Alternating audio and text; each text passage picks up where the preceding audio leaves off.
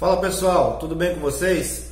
Aqui é Márcio Golizeschi, sou presidente do PSL de Nova Maringá e eu venho aqui fazer um convite para vocês da querida Itanhangá para que compareçam na reunião de Brianorte agora, na próxima sexta-feira, no dia 30, a partir das 9 horas da manhã, onde lá a gente vai participar do segundo encontro da federalização da BR-242. É muito importante a participação de vocês do comércio, de vocês da comunidade, de vocês produtores, vocês aí do assentamento, para que a gente se una por essa causa que une as nossas duas cidades.